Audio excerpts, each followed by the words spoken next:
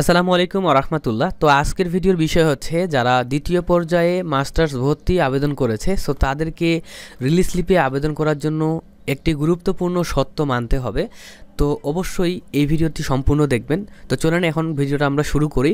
আর এই ভিডিওতে অবশ্যই লাইক করে দিবেন। তো সর্বপ্রথম কথা হচ্ছে যারা একুশ বাইশ শিক্ষাবর্ষে মাস্টার্স নিয়মিত ভর্তি আবেদন করেছে, দ্বিতীয় পর্যায়ে। সো দ্বিতীয় পর্যায়ে কিন্তু দুই রকম স্টুডেন্ট কিন্তু ভর্তি আবেদন করেছে। একটা হচ্ছে আপনার অনার্স অনার্স পাশ করার পর মাস্টার্সে দ্বিতীয় পর্যায়ে আবেদন করেছে। তো অনেকেই ছিল যারা হচ্ছে ডেট পার হয়ে গেছে, জানতে পারেনি বা কোনো কারণে, ঠিক আছে, তারা প্রথম পর্যায়ে আবেদন করতে পারেনি। সো দ্বিতীয় পর্যায়ে যেহেতু সুযোগটা দেয়া হয়েছে আবেদন করার, তখন তারা কিন্তু আবেদনটি করেছে। আরেক ধরনের স্টুডেন্ট ছিল যারা হচ্ছে মাস্টার্স প্রিভিয়াস পাশ করেছে, মাস্টার্স প্রিলিমিনারি পাশ করেছে, তারপর মাস্টার্স শেষ পর্বে ভর্তি আবেদন করেছে। তো এই দুই ধরনের ব্যক্তি কিন্তু হচ্ছে মাস্টার্সে আবেদন করেছে। তো তাদের জন্য নতুন নির্দেশনা চলে আসছে যে নতুন নিয়মে তাদেরকে কিন্তু আবেদন করতে হবে, তা না হলে কিন্তু তারা আবেদন করতে পারবে না।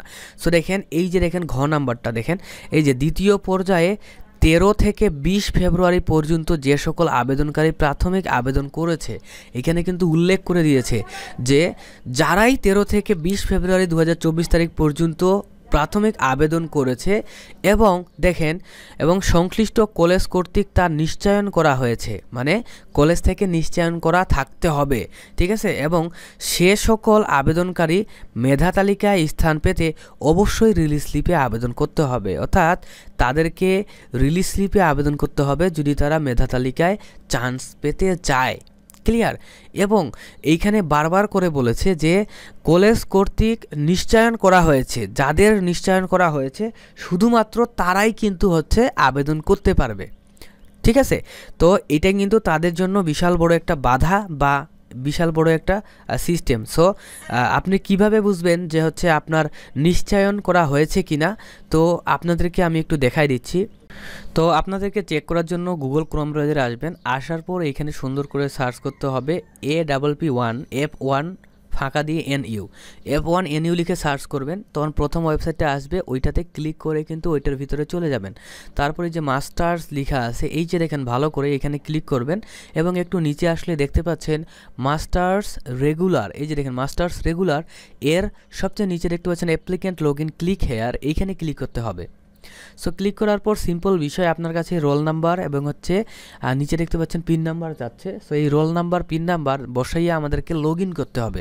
তো আমি কি করতেছি? এখানে হচ্ছে রোল নাম্বার পিন নাম্বারটি বসে নিলাম।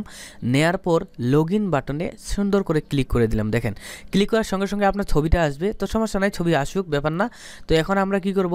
আমাদের হচ্ছে বাম দিকে ভিউ অ্যাপ্লিকেশন এখানে ক্লিক করব। ক্লিক করার পর দেখতে পাচ্ছেন স্টেটাস সাবমিটেড যদি স্টেটাস সাবমিটেড থাকে, তাহলে কিন্তু আপনি রিলিজ স্লিপে আবেদন করতে পারবেন না। এটা আমি বলে দিচ্ছি, যদি স্ট্যাটাস সাবমিটেড না থেকে এইখানে রিসিভড লেখা থাকে, আপনাদেরকে আমি দেখাচ্ছি, দাঁড়ান। এই যে সাবমিটেডের বদলে যদি এইখানে রিসিভড লেখাটা থাকে, তাহলেই কিন্তু আপনি আবেদন করতে পারবেন। এই যে দেখেন, একটা মেয়ের আমি হচ্ছে অ্যাপ্লিকেশন রোল দিয়ে রেজিস্ট্রেশন দিয়ে ওপেন করলাম ওনার কিন্তু রিসিভ লেখা আসছে। তো এমন রিসিভ লেখা আপনার আসলে আপনি কিন্তু রিলিজ স্লিপে আবেদন করতে পারবেন, তা না হলে আবেদন করতে পারবেন না।